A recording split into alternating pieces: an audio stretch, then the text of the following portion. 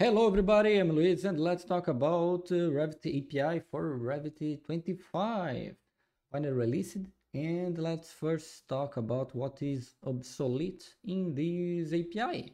Yeah, let's uh, run this and take a look what uh, the obsolete attributes is in the API.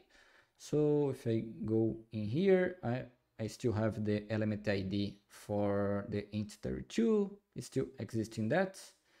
Uh, yep, that's interesting. And have a lot of things about the version 24 that is still was not removed. But yeah, uh, I have the file here. Let's just copy this.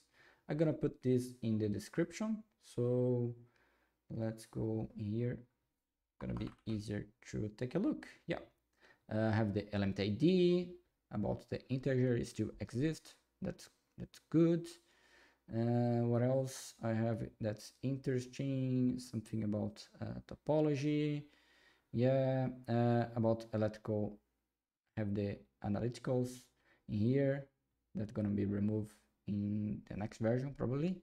Yeah, and I have nothing interesting.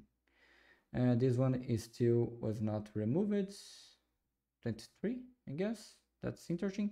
Yeah uh, nothing uh, nothing new i guess. At least i don't think that's uh, yep that's it. I'm gonna put this in the description or in some file. I don't know. Anyway that's this for this video. I'm gonna create another one about what is new that is fun for this version net uh, net core of course and a way to uh, add some buttons in here when you right click uh, inside a view. That's the most interesting feature. So yeah uh, thanks for watching and see you there. Bye